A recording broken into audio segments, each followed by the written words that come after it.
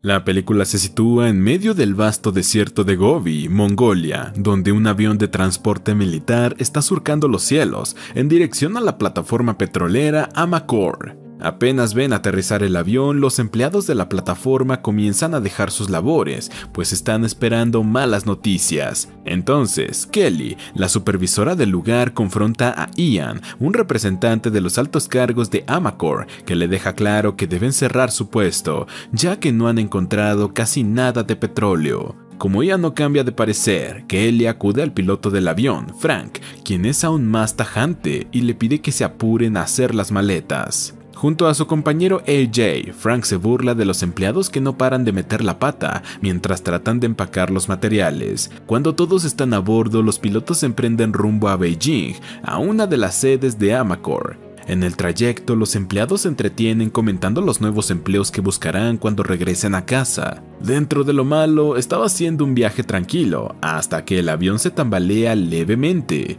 En ese momento la tripulación se da cuenta de que están entrando a una gigantesca tormenta de arena. Frank se niega a volver a la plataforma, pues eso implicaría perder demasiado tiempo repostando combustible. Por tanto, decide ascender para esquivar la tormenta, mientras AJ trata de mantener la calma en la tripulación.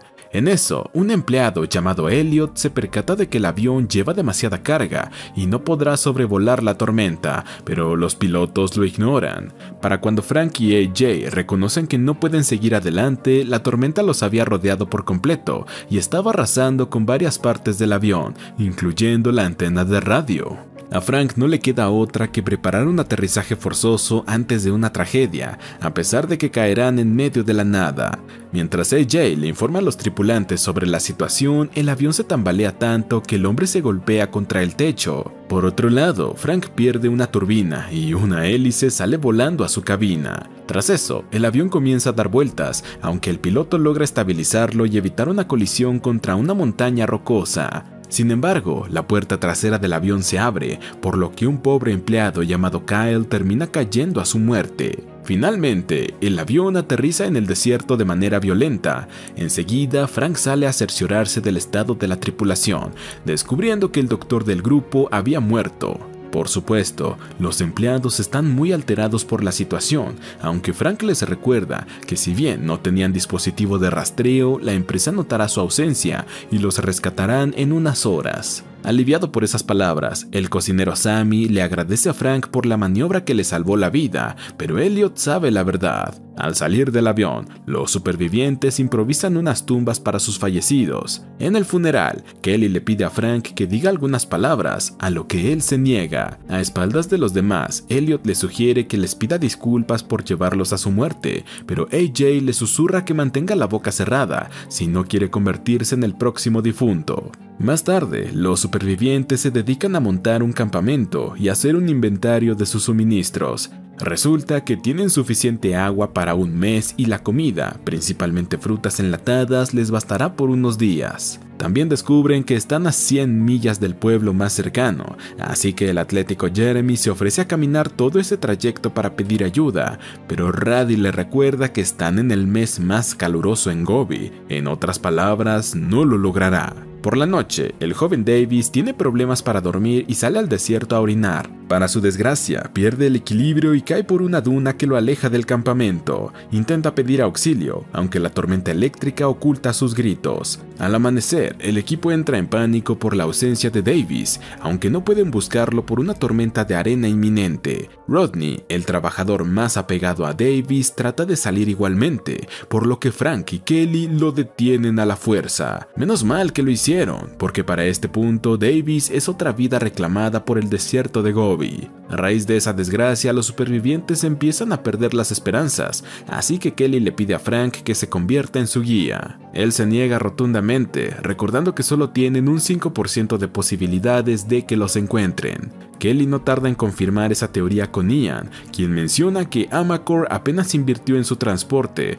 lo que significa que jamás prepararon un equipo de rescate. Al escuchar eso, Jeremy trata de irse. Ian se une a su cruzada y toma un galón de agua, lo que despierta la furia de los supervivientes. Al forcejear tanto con el galón, terminan rompiéndolo en una viga metálica. Antes de que el conflicto empeorara, Elliot aparece aclamando que tiene un plan de rescate. Como ingeniero aeronáutico, el hombre señala que pueden construir una avioneta a partir de los restos del avión, pues tienen las herramientas necesarias. Sin embargo, Frank lo ve como una pérdida de tiempo y energía, exclamando que lo mejor que pueden hacer es esperar. Al anochecer, descubren que otro tripulante llamado James ha desertado. Enseguida, Kelly se propone a buscarlo, pero el propio Frank asume esa responsabilidad. Luego de un largo camino por las dunas y las montañas rocosas de Gobi, Frank consigue más restos del avión y el cadáver de Kyle. De pronto, James aparece por una colina, señalando que alguien saqueó el cadáver de Kyle y lo usaron como muñeco de tiro. Prueba de ello son los casquillos de balas en el suelo. En eso, James amenaza con no regresar al campamento, pues prefiere morir intentando salvar su vida antes que a hacer nada. Esas palabras surtan efecto en Frank, quien permite la construcción del nuevo avión a cambio de que vuelva con él al campamento. Cuando regresan con los demás, el piloto les cuenta sobre la idea y todos se comprometen a hacerla realidad. En privado, AJ le indica a Frank que ese proyecto los hará gastar el doble de recursos, a lo que el piloto responde que es muy temprano como para rendirse. Esa noche inician la construcción del avión bajo las órdenes de Elliot, algo que los mantiene entretenidos e incluso se divierten cuando logran progresos importantes. Durante otra noche de trabajo, las partículas de una fogata acaban explotando por accidente un barril de combustible. Tras ese evento, los supervivientes no tienen otra que trabajar de día, ya que el combustible restante será para el funcionamiento del avión, no para encender fogatas y antorchas. Luego de más avances, llegan a una parte crucial del proyecto, ensamblar la otra ala al avión. Para ello, acuden al tripulante más pequeño, Sammy, quien se introduce en el hueco donde irá el ala para conectar una pieza importante. En eso el equipo suelta el ala antes de tiempo y se ensambla violentamente, pero justo cuando creían que Sammy murió aplastado, este aparece en la parte inferior como si nada. En las siguientes escenas, vemos que el equipo ha encontrado la forma de divertirse durante su labor y se han adaptado a su situación, que por más deprimente que sea, no han perdido la alegría. Un día sienten gotas cayendo del cielo, pero no será una lluvia refrescante porque está acompañada por truenos. Enseguida todos se alejan del avión, ya que será un imán para los rayos porque no está conectado a la Tierra. Pese a que Rodney y AJ se apresuraron en conectarlo a Tierra, Elliot seguía sobre el avión haciendo unas modificaciones, obligando a Frank a lanzarse a salvarlo antes de que un rayo lo incinerara. Tras eso, el piloto le señala a su compañero que un ingeniero aeronáutico debería conocer la regla sagrada de conectarlo a tierra. Tiempo después, vemos que el avión está casi listo y es bautizado como Phoenix. Más tarde, AJ interrumpe la jornada para informar que alguien está robando agua y saca una pistola para dejar clara su amenaza. El culpable no tarda en revelarse, tratándose de Elliot, quien indica que al ser el único miembro vital del equipo puede tomar más agua que cualquiera. En busca de aire fresco, Kelly se aleja a una duna cercana, solo para descubrir que un campamento de contrabandistas nómadas se había instalado al otro lado. Pese a eso, Rodney, Ian y AJ ven el lado positivo y se dirigen a ese campamento con la esperanza de hacer intercambios por agua, mientras Frank se oculta en una roca con la pistola en caso de que la cosa se tuerza. Como el único que conoce la lengua local, Ian trata de negociar con ellos, quienes se muestran demasiado interesados por saber la ubicación del avión. Al mismo tiempo, James se acerca a Frank para vigilar y se da cuenta de que son uno de los contrabandistas que tiene su reloj, lo que significa que son los mismos que acribillaron el cuerpo de Kyle. Como James revela su posición, los contrabandistas le disparan de inmediato a AJ,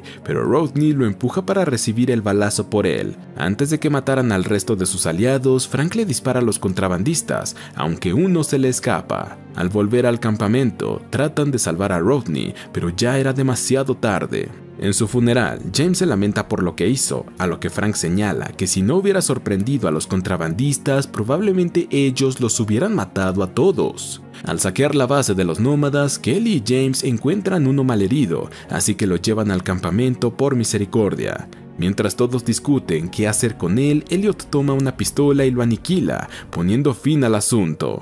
Ese acto tan impulsivo no le gusta a Frank, pero Elliot señala que él lo puso en esa situación en primer lugar, al no escuchar sus advertencias sobre el avión. Furioso, Frank lo golpea para callarlo. En consecuencia, Elliot se niega a seguir supervisando la construcción del avión, a menos que todos lo pidan por favor.